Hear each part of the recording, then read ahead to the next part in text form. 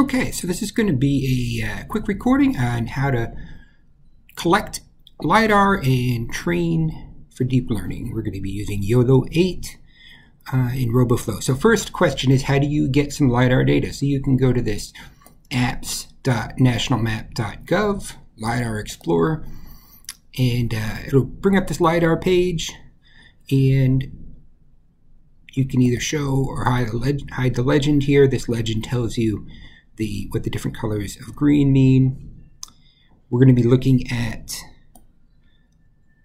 um, this medium 0.7.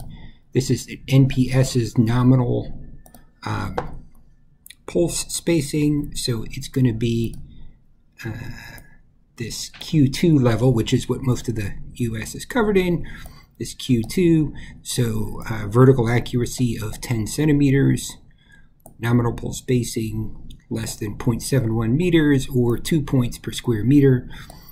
Um, so the data we're going to be working with is about, about that range.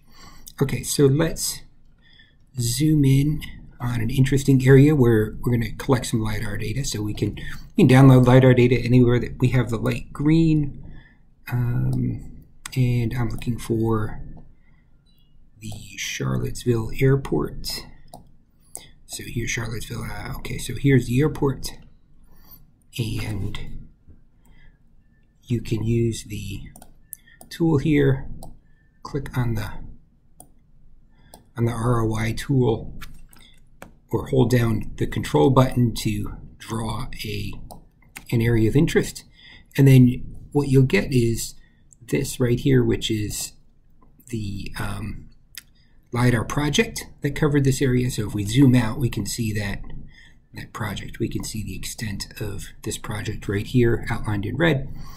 We don't really want the whole project. I just want to get a small, relatively small amount of data over the area that I've drawn my area of interest for. So we come down here and each of these is a separate image. So we have six, or not really image, but it's a square segment out of our LiDAR data um, that overlaps what we're looking at in the airport. So suppose I want to get this, which seems to overlap most of the airport, I'll just click the download button and that will download this as a .laz file.